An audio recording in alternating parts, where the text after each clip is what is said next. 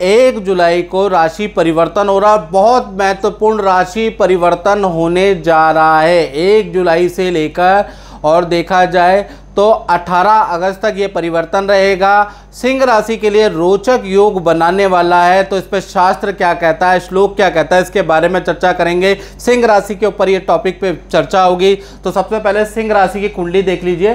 सिंह राशि के लगन में मंगल बैठे हैं। यानी लगन में जब मंगल बैठते हैं तो श्लोक कहता है, लगने स्थितो भौमा पराक्रम वृद्धिदायका। यानी कि लगन में जब भी मंगल बैठता है तो ऐसे में खेल का शौक व्यक्ति के अंदर जागृत होता है। यानी कोई ना कोई एक्टिविटी में आप लिप्त रहेंगे, योग करेंगे जिम करेंगे, व्यायाम करेंगे, किसी न किसी एक्टिविटी में आपको मंगल डालने वाला है 18 अगस्त तक। साथ ही साथ पराक्रम में आपकी वृद्धि कर देगा। यानी कि आपको सामाजिक संस्था से कोई सम्मान, कोई अवार्ड मिल सकता है। ठीक है ना? आपको किसी पॉलिटिकल पार्टी से कोई ऑफ़र मिल सकता है या फिर देखा जाए, अगर आप कोई चुनाव लड़ रहे हैं तो उसमें आपको लाभ मिल सकता है। यानी कि पावर कद कद आपका बढ़ जाएगा, सारे शत्रु आपके परास्त होंगे, और जो वाद विवाद चल रहे हैं घर के अंदर, कलीग से, वो वाद विवाद ख़त्म हो रहे हैं। तो यहाँ जो लगन का मंगल है, ये आपके वाद विवादों को ख़त्म करने की ताकत रख रहा है। और ऐसा अट्ठारह अगस्त तक रहने वाला है। मंगल की मित्रों, तीन दृष्टियाँ होती है, चौथी, सातवीं, आठवीं। तो मंगल की चौथी दृष्टि अगर देखा जाए तो जहाँ आठ नंबर लगाया, यानी आपके चतुर्थ भाव में बैठी, ये अच्छी दृष्टि नहीं है। ये माता पिता के स्वास्थ्य के लिए 18 अगस्त तक चिंतादायक समय रहेगा। माता पिता को हेल्थ के इशू रहेंगे। साथ ही साथ देखा जाए तो परिवार के सदस्य, खासकर मम्मी पापा को गुस्सा अधिक आएगा। परिवार में थोड़ा वाद विवाद उत्पन्न हो सकता है किसी सदस्य के कारण। तो यहाँ पर परिवार भाव थोड़ा सा उथल पुथल हो रहा है।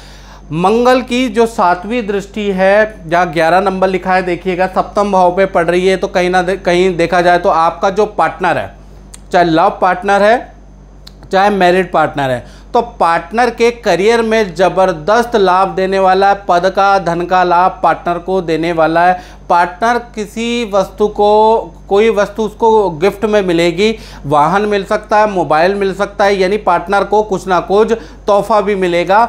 और 18 अगस्त तक आप वेट एंड वॉच कीजिएगा। साथ ही साथ देखा जाए तो मंगल की जो आठवीं दृष्टि है, वो अष्टम भाव में बैठी है। तो अष्टम भाव में आठवीं दृष्टि मतलब मंगल की शुभ होती है।